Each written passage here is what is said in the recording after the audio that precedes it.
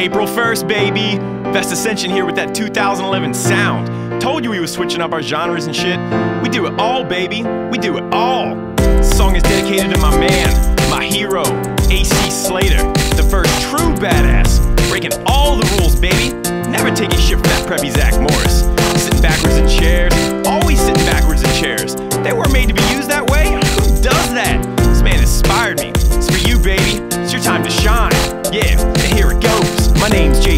you can call me Mr. Sniggles. And I made this song to help out dudes hung like they're diggles. Even though I'm white, you don't have to question my ability. Black guy in my video provides needed credibility. The story all starts back in 81. I exploded to this world into a rising sun. I came up in life acquiring the finest things. I got an iPhone and a fat car with some shiny bling. But as I got older and my body grew stronger, then my mind took over and my penis got longer. Then I was faced with a problem guys like me have. If you got a big old schlong, you know this makes you mad.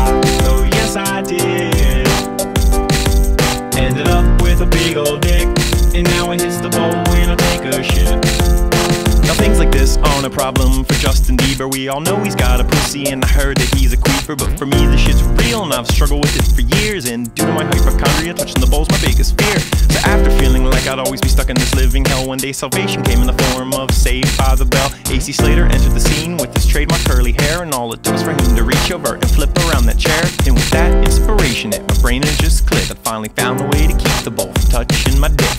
First time in years I can remember feeling glad. AC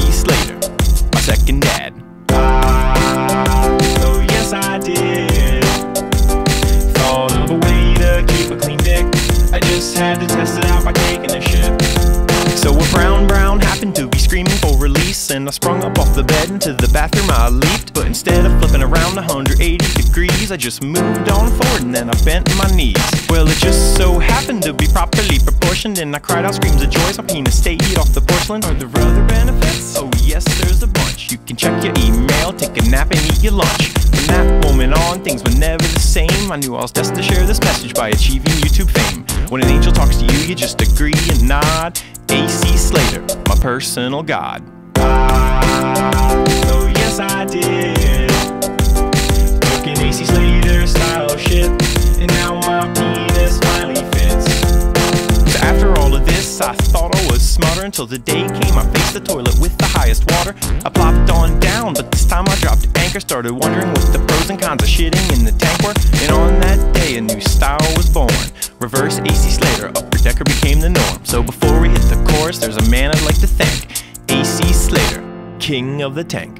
Oh yes I did. A backward shit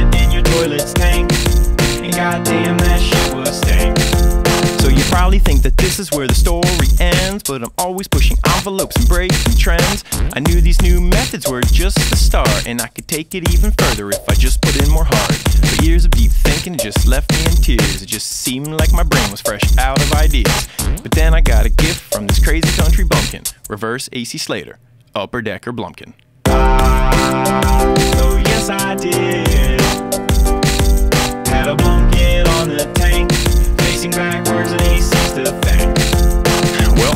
Story of how my hero AC Slater inspired me to do great things in my life. Shout out to all my other bros taking their daily Slaters. Jake Bowen from Periphery doesn't even wipe his ass after he Slaters. Likes his butt all like there's stalactites and stalagmites up in there. Like he's got stale brownies in his underwear and shit, man. It's gross. My man Mark Holcomb? You don't even know, dude. Haunted Shores? That shit's more like haunted drawers. Just fucking shits everywhere. Alex Rudinger from Threat Signal? You better believe the threat signal coming from that ass is that full alert. This guy does like cartwheels and shit when he takes a Slater. It's like pirouettes and axels and Oksana Bayul type shit. My boy Greg Pearl Rudick, he does like handstands and shit when he Slaters. Just like all over himself. Then you have Casey Sabol. He's so scared of touching a toilet, that motherfucker AC Slaters in his kitchen sink. I mean, who does that? Mm, I don't even know, man. I, I, just, I give up trying to figure it out. Vestascension 2011, baby. Come and take all your money and bitches.